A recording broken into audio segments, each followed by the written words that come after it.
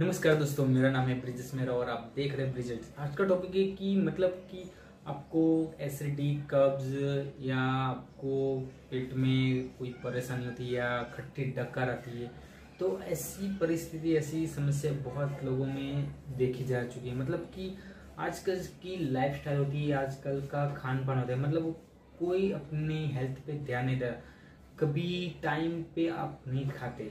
और आपको अपचन हो जाता है, ऐसी समस्या से सब लोग घेरे होते हैं। तो इस समस्या का आपको छुटकारा देने के लिए, दिलाने के लिए हम आपके लिए ऐसे घरेलू उपचार लेके आए।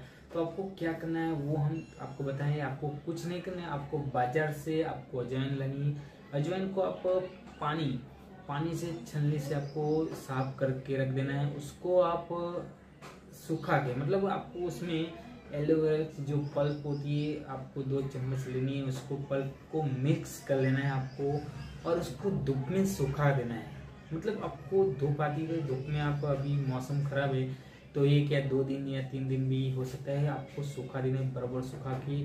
आप उसमें आपको नींबू का रस, दो चम्मच ले, किसी को खाट खट्टा अच्छा लगता है, वो ज़्यादा रख सकते हैं या कम रख सकते हैं। आप नींबू का रस भी इसमें मिला सकते हैं। उसको मिक्स करके आपको धूप में सुखा के आपको बराबर सूख जाते हैं तो आपको इसमें आपको इसमें एक एयरटाइट डिब्बी होती है, जो डब्बा होता है, उसमें आपको भर लेना है। जब भी आपको ऐसी अपच एसिडिटी या पेट में कुछ भी समस्या होती प्रॉब्लम होती तो आपको उसको खा लेना है। एक चम्मच खाना है, उसको चबा के खाना है।